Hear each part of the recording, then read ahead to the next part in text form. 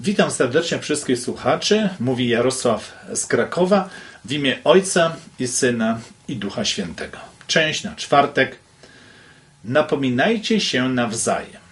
Jak zauważyliśmy w, w piątym rozdziale 1 do 11, Paweł wymienia szereg przeciwieństw ilustrujących dwie strony sądu w czasie powtórnego przyjścia Jezusa. W wersetach analizowanych dzisiaj od 9 do 11, apostoł kieruje naszą uwagę w przeciwieństwo gniewu i zbawienia. Wierzący mogą mieć ufność w czasach końca, gdyż Chrystus jest gwarantem tego, iż są oni dziećmi światłości. Przeczytaję od 8 do 11 wiersza. Jakie jest zasadnicze przesłanie tych wersetów? O jakiej nadziei mówi w nich Paweł i dlaczego możemy mieć taką nadzieję? Jak w tych wersetach okazana jest Ewangelia. Od 8 do 11. My zaś, którzy należymy do dnia, bądźmy trzeźwi, przywdziawszy pancerz wiary i miłości oraz przyłbicę nadziei zbawienia.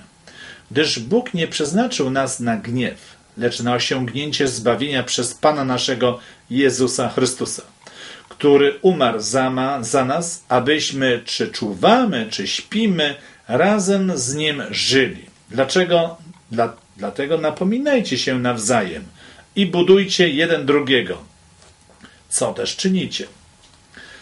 Wielu ludzi uważa obecnie, że biblijne pojęcie gniewu Bożego odzwierciedla bardziej kulturę czasów biblijnych niż rzeczywistość charakteru Pana. Jednak taki pogląd jest nieporozumieniem. Owszem, w Biblii Bóg dostosował swoją prawdę do zdolności ludzkiego pojmowania i ograniczeń ludzkiego języka. Jednak pojęcie gniewu pańskiego nie jest ograniczone wyłącznie do starotestamentowych fragmentów Biblii. Powszechnie występuje także w Nowym Testamencie, w tym również w wypowiedziach Jezusa i wizjach Jana, pismach Pawła. Tak więc nie możemy bezpiecznie ignorować tego pojęcia, jako że musi ono wyrażać coś istotnego o Bogu i planie zbawienia. Choć z braku miejsca nie możemy tu zgłębić się w to zagadnienie, musimy wyraźnie zaznaczyć, że gniew Boży nie jest irracjonalną, impulsywną emocją.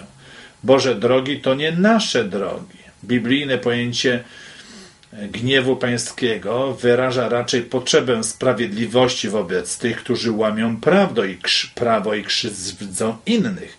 Ci, którzy trwają w nikczemności, zostaną ukarani i unicestwieni, ponieważ wszyscy jesteśmy winni złamania prawa Bożego, wszyscy podlegalibyśmy wyrokowi sprawiedliwości, gdyby nie to, co uczynił dla nas Jezus przez swoje życie, śmierć i zmartwychwstanie.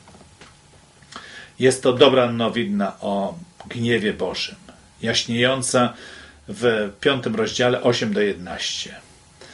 Bożym zamierzeniem wobec nas nie jest gniew czy karząca sprawiedliwość, ale łaska i zbawienie.